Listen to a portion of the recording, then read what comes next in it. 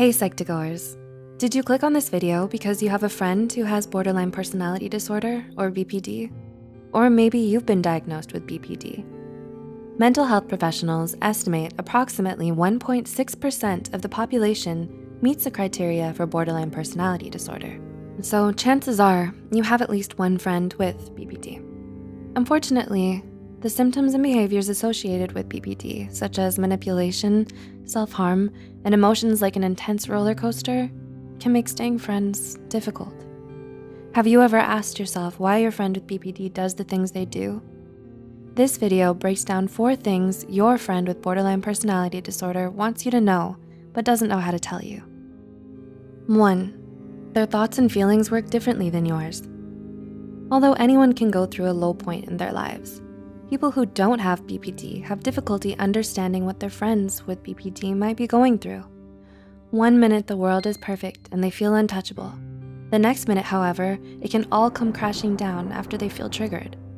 The individual with BPD has difficulty regulating emotion and understanding the shades of gray that normally help people without BPD put things into context. It can be frustrating, draining, and downright heartbreaking to watch someone you care about on a roller coaster of emotion, especially if it seems to happen a lot. But have you ever asked yourself why this happens? Emotionally speaking, individuals diagnosed with BPD experience the world as if they're missing at least one layer of skin. This creates a constant feeling of emotional hypersensitivity and rawness. People diagnosed with BPD often say that they feel empty, worthless, or numb, at the core of this is often an intense fear of rejection, abandonment, and loneliness. These deep, intense feelings and difficulty with context often distort the thoughts of someone with BPD, steering them towards self-harm and negative self-talk. Unfortunately, these tendencies towards self-destructive behavior and negative self-talk often get the person with BPD labeled as manipulative or attention-seeking. What your friend with BPD wants you to know is, two, it's not all about attention or getting their way. Common symptoms of BPD include unstable moods and identity, risky behaviors, deep fears of abandonment and rejection, and a tendency towards suicidal thinking and gestures. These symptoms are often used to explain the behaviors most commonly associated with BPD, such as needing constant validation from others, threatening suicide, giving ultimatums, and emotional reactions that seem too intense or overboard. It can seem like no matter how much you're there for your friend with BPD, you can never do enough to make them see it. In addition to discouraging, this can feel like you're trying to fill up the Grand Canyon with a small spoon. But those behaviors you find clingy, manipulative, or attention-seeking aren't what they appear. Oftentimes, individuals diagnosed with BPD fear rejection and abandonment because they've experienced a lot of rejection and abandonment in their lives. Until individuals with BPD learn the coping and social skills they need to successfully work through these deep-seated fears, they use the negative behaviors as a way to get their needs met. This kicks off the following self-fulfilling, self-destructive cycle. First, something happens, like a breakup, an argument with a friend, not getting the recognition they want at work or school. That triggers the individual with BPD's deepest fears. Second, this activates a barrage of angry or negative self-talk, which creates a lot of anxiety and depression for your friend with BPD. Third, because your friend does not have the emotional skin to cope with their internal stress, the depression and anxiety can make them feel like they're being swallowed whole by it. Fourth, they act out in whatever way they know how, often via manipulation, erratic behavior, blowing up, self-harm, or issuing threats.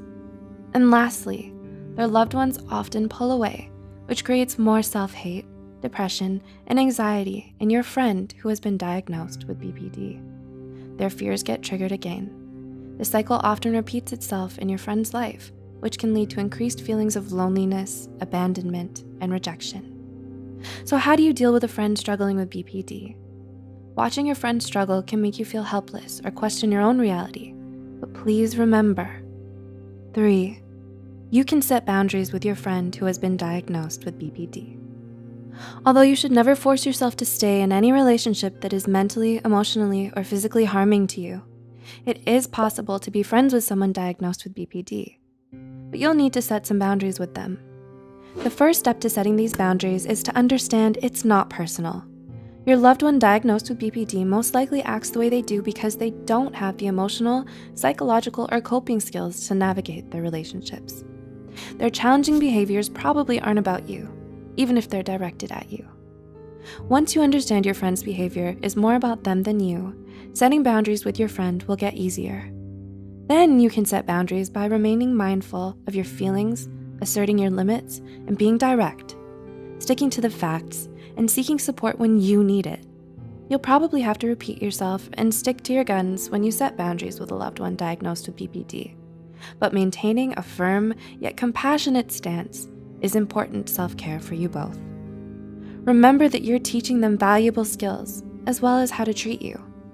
Leave a comment below if you'd like to see a video on how to set boundaries with a loved one diagnosed with BPD. And four, having BPD doesn't mean they can't be a good friend. Being friends with someone diagnosed with BPD can be confusing, even frustrating at times. But just like you, your friend with BPD is using what they know to cope with situations in their lives. Your friend's thoughts and emotions take very different turns than yours, however, because their BPD symptoms block things like context while making your friend more sensitive. This doesn't mean your friendship is a lost cause or that your friend with BPD doesn't have a lot to offer. Although you'll have to maintain stronger boundaries with a friend who has been diagnosed with borderline personality disorder than one who has not, your friend with BPD is more than their mental illness. Maybe their impulsivity makes them a lot of fun. Every friendship is unique, and it's up to you to figure out whether this relationship is healthy for you or not. But we wanna hear from you, Psych2Goers. Does someone you love have BPD?